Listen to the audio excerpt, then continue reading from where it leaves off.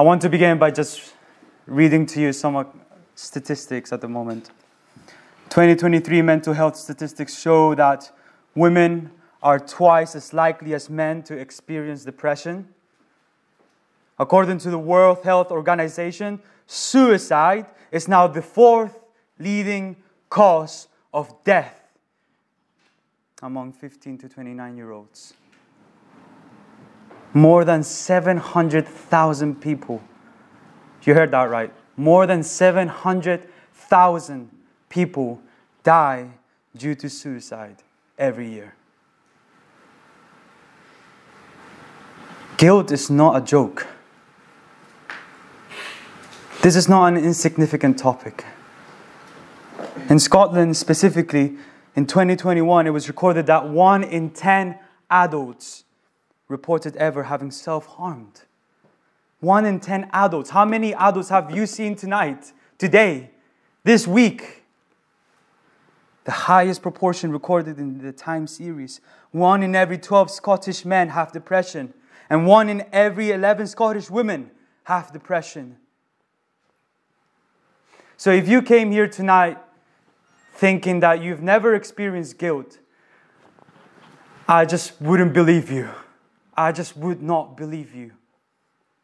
Everyone in this room, at some point in their lives, in some degree or another, has experienced guilt. Whether that was when you were little, just a kid, and you did something wrong and your parents told you off and you felt guilty because of that or maybe you feel guilty now because you know you've wronged someone or you've done something wrong. Guilty because of past trauma. Guilty because of past disaster. Guilty because you made a decision on that day. On that day.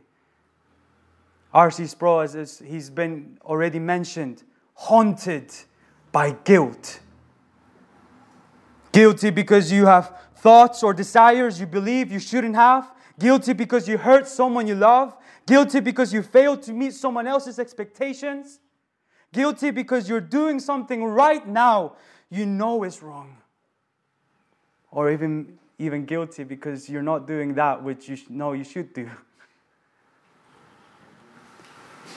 Am I not speaking your language? Am I not hitting a nerve? Don't we all in some way or another understand what guilt is, how devastating, how paralyzing, how depressing guilt is. We've all wronged someone. We've all been wronged. We see so much of guilt in Street View if you don't know what that means, that reference is in Google Maps when you put the little man in the street and then you can see the, the buildings, you can see the apartments, you can see the street view. And so much of guilt we see in street view through human lesson, lenses, through just a human perspective. And tonight I want to zoom out. I want to not just look at guilt on a human level, in a relational level, but you've come here tonight expecting someone to talk about God and how Christianity tackles the topic of guilt. So we will do that. Matthew 26, we're going to be examining two people from the 12 disciples. We will read little sections of Matthew 26 and basically just basic context. These are the final moments of the earthly life of Jesus Christ. First of all, let's see Judas's betrayal in verse 14. Verse 14 of 26. Then one of the twelve, whose name was Judas Iscariot, went to the chief priest and said, What will you give me if I deliver him over to you? And they paid him 30 pieces of silver. And from that moment, he sought an opportunity to betray him. Skip down now to verse 47. Verse 47 while he was still speaking. This is Jesus praying in, the Garden of Gethsemane. While Jesus was still speaking, Judas came, one of the twelve, and with him a great crowd with swords and clubs from the chief priests and the elders of the people. Now the betrayer had given them a sign, saying, The one I will kiss is the man. Seize him. And he came up to Jesus at once and said, Greetings, Rabbi. And he kissed him. Jesus said to him, Friend, do what you came to do. So that's the account of Judas's betrayal. Now skip down to verse 69. We will see Peter's denial. Same chapter, verse 69. Now Peter was sitting outside in the courtyard, and a servant girl came up to him and said, You also were with Jesus the Galilean. But he denied it before them all, saying, I do not know what you mean. And when he went out to the entrance, another servant girl saw him, and she said to the bystanders, This man was with Jesus of Nazareth. And again he denied it with an oath I do not know the man. After a little while, notice that. After a little while, the bystanders came up and said to Peter, Certainly you too are one of them, for your accent betrays you. Then he began to invoke a curse on himself and to swear, I do not know the man. And immediately the rooster crowed. And Peter remembered the saying of Jesus Before the rooster crows, you will deny me three times. And he went out and wept bitterly. Within these verses, Peter's and, Peter and Judas share so many things in common. You must understand that these two men were close disciples of Jesus. They both saw the miracles Christ did. They both ate on the same table that Jesus ate. They both heard Jesus preaching boldly about the kingdom of God. They both bought food and drink for Jesus. They both had lived life for three years with this man. And yet, within these verses, we see them both essentially rejecting, both of them rejecting, denying, betraying Jesus. The Jesus they have been following the past three years. See, in many ways, guilt is a very difficult topic because it involves both the subjective, felt guilt and, and also the objective elements of guilt. Subjectively speaking, guilt is felt. Feelings of guilt are a universal problem. We all feel. God has written His law on our hearts, and therefore we all have some universal sense of right and wrong. We all know right and wrong. God has given you a conscience. When we do not know what is wrong, your conscience starts to alarm, telling you what you just did was wrong. It's almost like it takes your breath away. It was, it was a guilty feeling at that moment. Guilty feeling. The Bible does not disregard guilty feelings, by the way. If you read Psalm 38, you see there clearly David describing his guilt. Just listen to this. My wounds stink and fester because of my foolishness. I am utterly bowed down and prostrate. All the day long I go mourning, for my sides are filled with burning, and there, are no, there is no soundness in my flesh. I am feeble and crushed. I groan because of the tumult of my heart. My heart throbs, my light, my strength fails me, and the light of my eyes, it has also gone from me. My friends and companions stand aloof from my plague. My nearest kin stand far off. That's guilty feelings right there. That's pretty vivid. Do you feel that way? Do you feel that way? Do you identify with David saying, My heart throbs, my strength fails, guilt haunts me day and night, I can't sleep, I'm depressed, I know I've done wrong? I wonder if you feel that way. I wonder if you can identify with David. So, in a sense, the Bible acknowledges, acknowledges the present reality of felt guilt.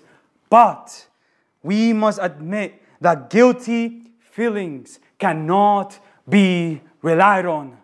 Guilty feelings cannot be relied on. It is possible for you to feel guilty for that which you have not done wrong. Did you get that? It is possible for you to feel guilty for that which you have not done wrong. But at the same time, it is possible for you not to feel guilty for that which you have done wrong. You should feel guilty about that. A man who has been charged with sexual assault against a little girl may not feel a single ounce of remorse. Yet everyone in this room knows he's objectively guilty. Right? Here in our text, we see two men having both problems, both felt guilt and both objective guilt. With Peter, we see that he is objectively guilty. Moments before his denial of Christ, Jesus actually foretells Peter's denial in verse 35. If you read with me, 34 actually, there. Verse 34. Jesus said to him, Truly I, say, I tell you, Peter, this very night, before the rooster crows, you will deny me three times. What's Peter's response? Verse 35. Even if I must die with you, I will not deny you. Peter was objectively wrong in saying that, but more than that, he was objectively wrong. He was objectively guilty of rejecting Jesus Christ. Notice that when we read his denial of Christ, at every turn, he had the chance he had the chance to stop and to see himself rejecting Christ and to stop there. No, but he kept going. He kept going. He didn't stop. He relied on his strength of will. I will not deny you. He relied on his own moral compass. I decide which is right and wrong. I can do this. My own character, my own goodness.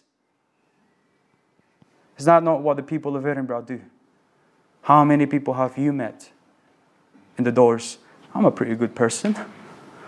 I'm a pretty good person. How dare God challenge me with hell? I'm a pretty good person. Live my best life now to the best of my own ability, relying on my own goodness, relying on my own character. I'm pretty good. Have you not said, have you not said this before?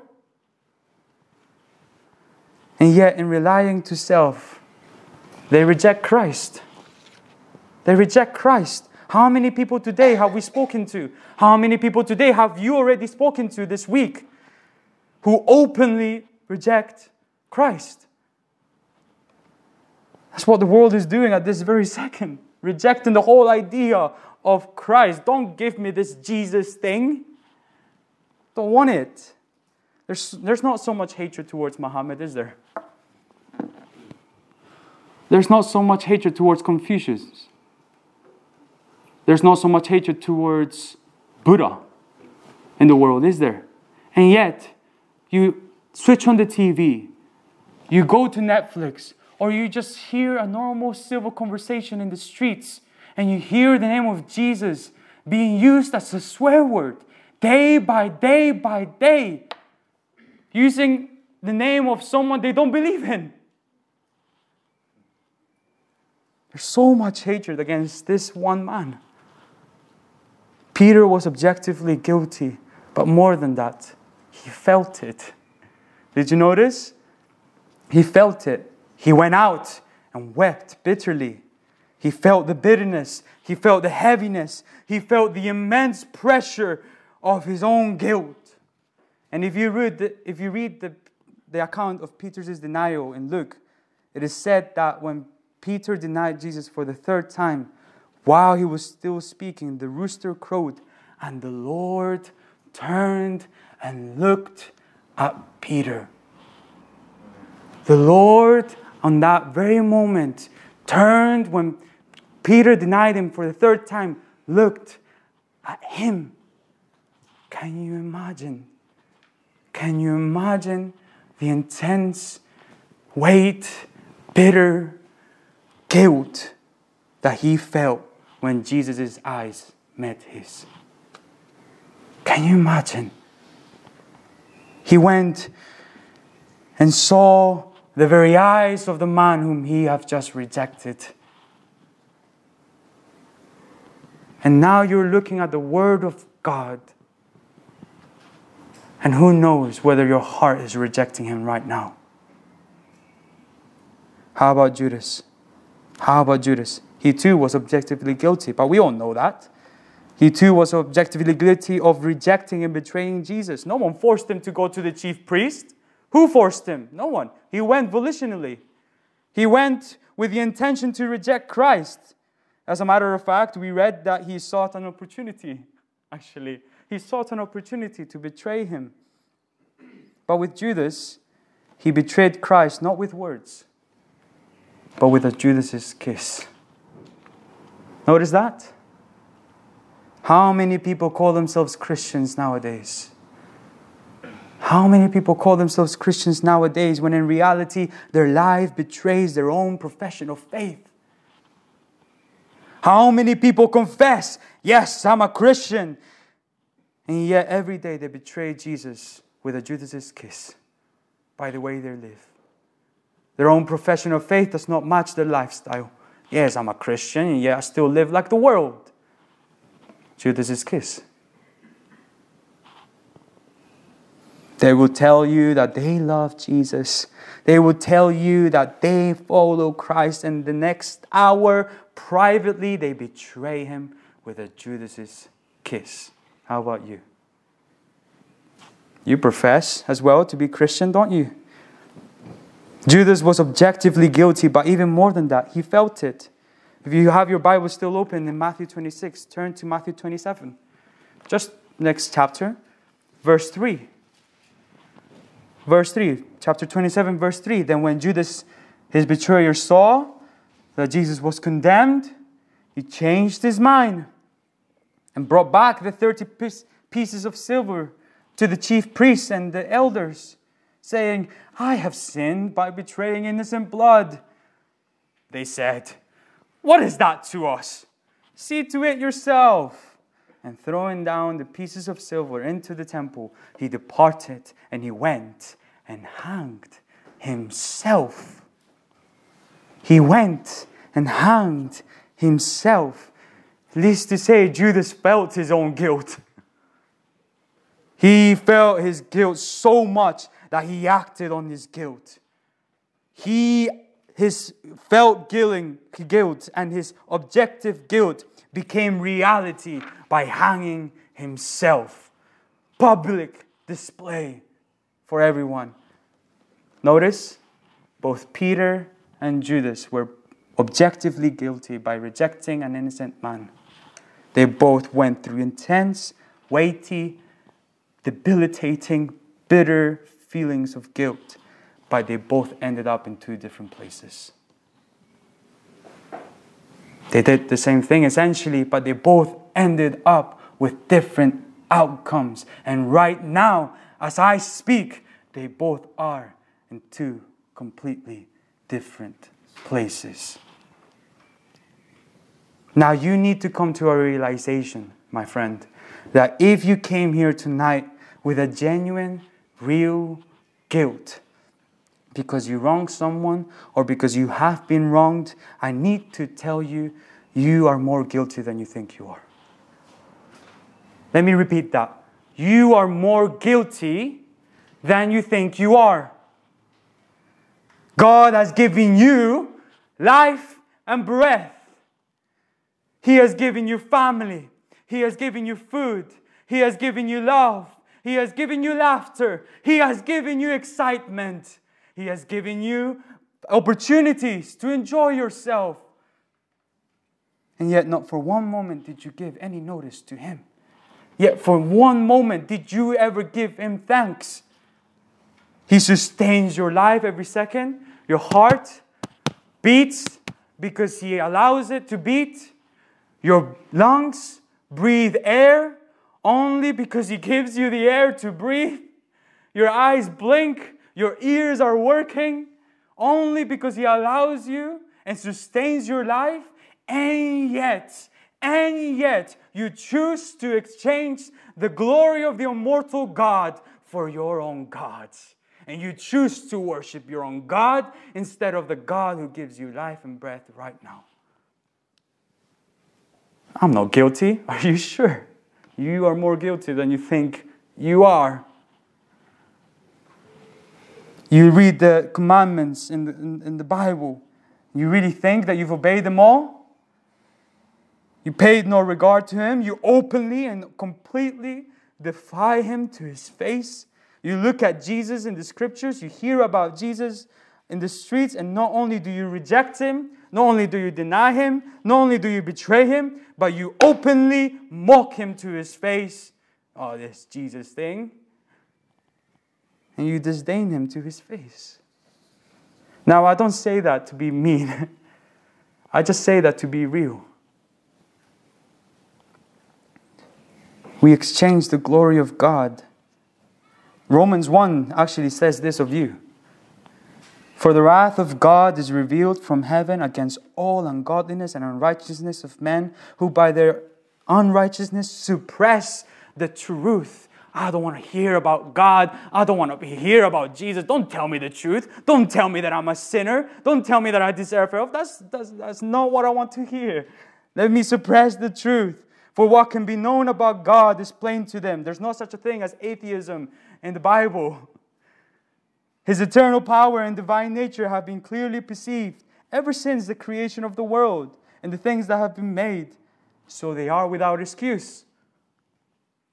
For although they knew God, they did not honor him as God or give thanks to him, but they became futile in their thinking and their foolish hearts were darkened, claiming to be wise. I've got masters in this, I've got masters in that, I've got a PhD in this. I looked at this in the scientific manner, claiming to be wise. They became fools and exchanged the glory of the immortal God for images resembling mortal man and birds and animals and creeping things the scariest thing about this, the scariest thought that I have right now is that you would hear what I just said to you and be like, I don't care that I'm guilty before God. I don't care that I'm guilty before God. Friend, I'm scared for you. I'm scared for you. If you if you if that's how you react. The scripture says that it is a fearful thing to fall into the hands of the living God. Romans 1 says that you know God exists. Your conscience confesses this, and yet you do not honor Him. You have exchanged the glory of the immortal God for images. Judas exchanged the Son of God for the world's treasure. Peter exchanged the Son of God for the world's reputation. Who are you exchanging God with? Who are you exchanging God with? Who is your God? What gives life meaning to you? Is sex your God? Is fitness your God? Is money taking the place of God in your life? Is success? Is it your family? Is it your own reputation? Is it games? Is it drink? Is it food? Is it career? You choose other things to be your God, and yet you really find quickly that they do not never satisfy. They never satisfy. You always need more. Friend, you are more guilty than you think you are. You have completely broken all of God's laws. The scriptures say that we hate, not passive. And anyone whom you have talked with that has no Jesus, they're not passive about God. The scripture says that they hate God. They are enemies of God. You don't like the idea of God because that means moral responsibility. The main problem of the atheist is not so much intellectual ignorance, but moral denial. Because if there is a God, that means I don't have self authority. If there is a God, that means I don't have self autonomy. That means that there's someone up there that has seen everything I've thought, everything I've said, everything I have done privately, and that is not a nice thought. that is not a nice thought. It's not pretty. If I were to have, listen, if I were to have a DVD with me containing everything that you have ever done, containing everything that you have ever said, containing everything that you have ever thought, you would probably tackle me right now. You would tackle me right now. You wouldn't want this to be played before everyone here tonight. Why? Because it's not pretty. This DVD, what it contains about your entire life, is not pretty. You'd be ashamed. You'd be guilty. And yet, I know these are very uncomfortable thoughts, and I'm getting to the good news. Remember early on when I read to you Psalm 38? David's description of his, his feelings of guilt? He didn't stop with his feelings of guilt. He didn't stop with his feelings. He transitioned from his feelings of guilt to his real, objective guilt before God. Listen to his own confession. This is what he's saying right now. He transitions, right? For I am ready to fall, and my pain is ever before me. I confess my iniquity. I, I am sorry for my sin. And then he confesses, Do not forsake me, O Lord. Oh, my God, be not far from me. Make haste to help me, O Lord, my salvation. Friend, visitor, you will never feel freedom from guilt if you don't transition to your real guilt before God. Do you know why? Because the guilt that you feel because you wronged someone else will not go away, even if this person whom you have wronged forgives you. Even if they forgive you. Why? Because you will always feel, I need to make it up for them. I need to make it up for them. I need to make it up for my wrongdoings against this person. That's your justice kicking in. That's your justice, sense of justice kicking in now. True freedom from guilt involves both forgiveness and justice. Both forgiveness and justice. Even if, you, if the person you wronged were to forgive you, the guilt will still linger because you will feel like you need to make it up for them. Friend, let me tell you if you want true freedom from guilt, you will need both forgiveness and justice. And the ultimate question you must ask yourself tonight is this. You're listening? The ultimate question you must ask yourself tonight, my friend, is this Where will I find both forgiveness and justice? Where will you find it? Peter's and Judas found them in two different places. See, Judas knew he was guilty. As a matter of fact, he tried to make things right. I need to make it up. We read that when he saw Jesus condemned, he changed his mind, meaning literally, he regretted and brought back the 30 pieces of silver to the chief priest and the elders, saying, I have sinned by betraying innocent blood. Here, take it back. Do something about it. He, he tries to make things right. He confesses and tries to get forgiveness, not from Jesus. Notice, he does not seek forgiveness from Jesus, he seeks forgiveness to the chief priests. And he doesn't get it. He doesn't get forgiveness from them. And so, inevitably, where does he go? Payment, justice I will pay the price for my own sin. I will undergo the payment of my own sin. next thing we see is him hanged publicly for all to see. He got what he wanted. He got justice. As a matter of fact, he's going through it right now. 2,000 years after this account, he's still paying. He's still paying the price. Forevermore. It will not stop. That's hell for you. How about Peter? We actually don't see him until the resurrection of Jesus Christ. Running to the tomb, seeing that the body of Christ was not there. But seven, verse 75, he went out and wept bitterly. Now, I don't know where he went. I don't know what he exactly said after this. I don't know what he did, but I know this that he wept bitterly. Do you know what that sounds like? For I am ready to fall, and my pain is ever before me. I confess my iniquity. I am sorry for my sin. Do not forsake me, O Lord. O my God, be not far from me. Make haste to help me, O Lord, my salvation. He is at this very moment having what 2 Corinthians 7, verse 10 says godly grief. Godly grief producing a repentance that leads to salvation without regret. He had genuine sorrow for his own sin against the Son of God, against God Himself, and with godly grief produced a repentance. And if you don't know what repentance is, is a turning away from sin and a turning to God that leads to salvation. So we see Peter weeping for his own sins against God upon the realization of his real, objective guilt and turn to God for forgiveness and for payment. That's the amazing good news. The good news is that we can find full forgiveness, full justice for all our guilt before man and before God on the cross of Jesus Christ.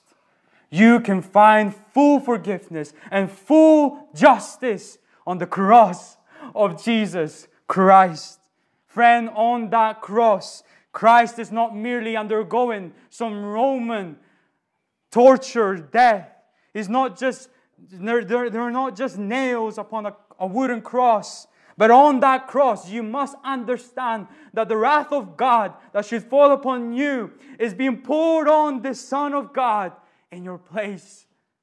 On that cross, the just punishment of your guilt, your, the just punishment of your sin was being poured out on the head of the perfect, sinless Son of Man, Jesus Christ, so that his perfect righteousness may be given to all those who repent to God and trust in him for salvation.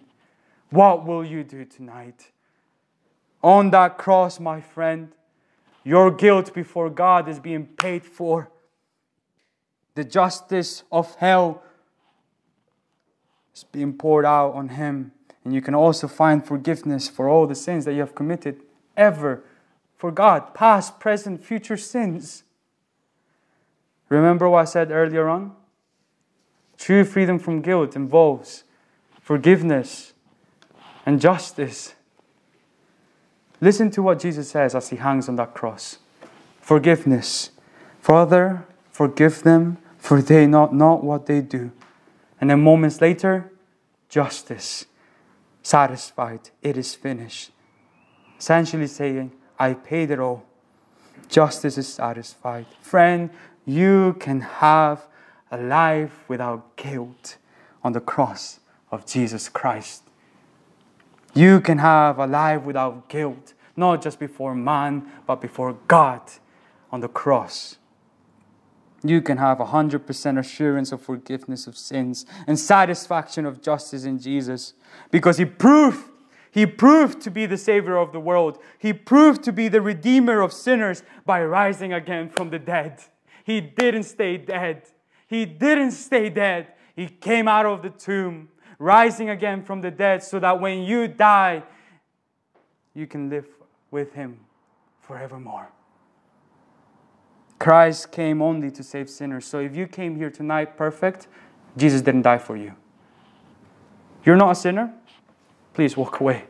Jesus didn't die for you. You're perfect? Are you a sinner? Congratulations, you meet the requirements for whom the, the Son of Man, the Son of God, died for. Well done. You're just like us. Well done. You have finally reached the point where you realize that you have done nothing else but sin against God. Friend, this might be the last time you hear a message like this. This might be the last time. And I can assure you, no other belief system, no other belief system can answer the vital question of justice and love, which can only be found on the cross.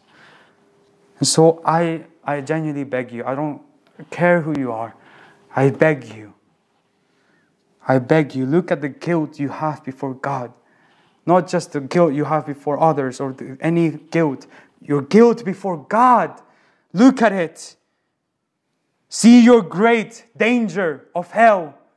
And I beg you, put your trust in the Lord Jesus Christ and repent from sin to God. And He promises you by the authority of Scripture that you will be saved. He will forgive all of your guilt. I do not want your blood on my own hands.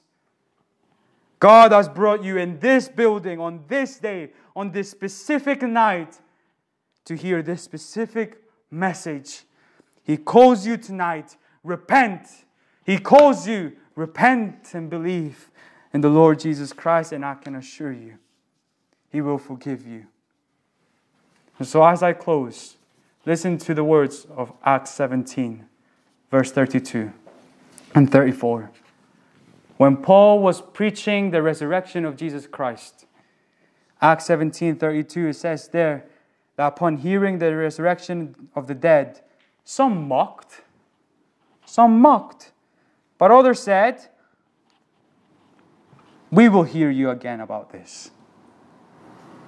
But some men joined Paul, verse 34, and believed.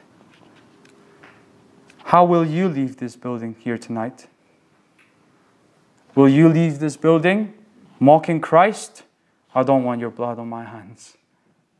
Will you leave this building saying, I will hear about this again?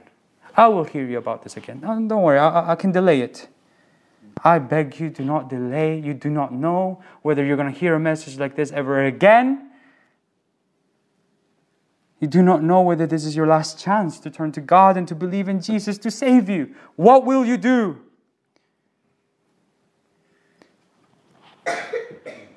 Peter and Judas gives us a picture of the two options you have tonight. One decided to take punishment of his real guilt upon himself. The other trusted in someone else to take the punishment on his behalf. One asked forgiveness to the wrong person and turned to himself for justice.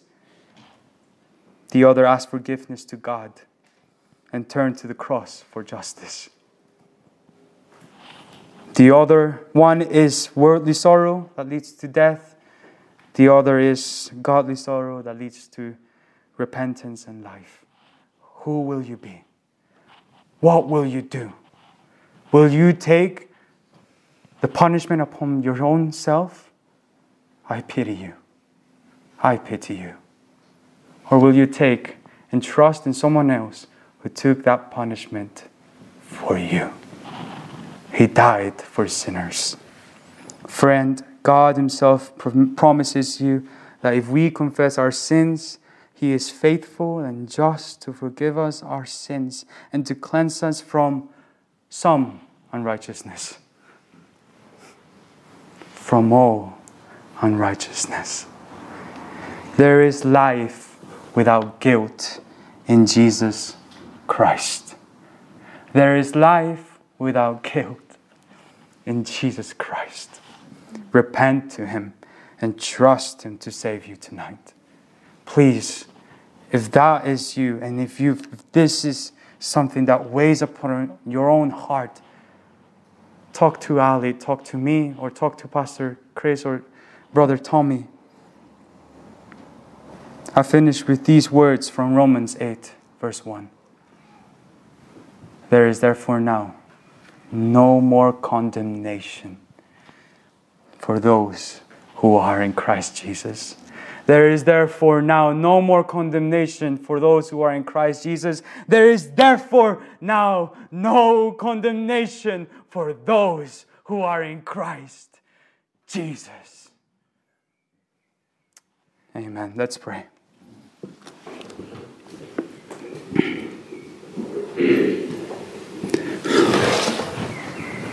Father, we thank you that indeed you have sent your only begotten Son.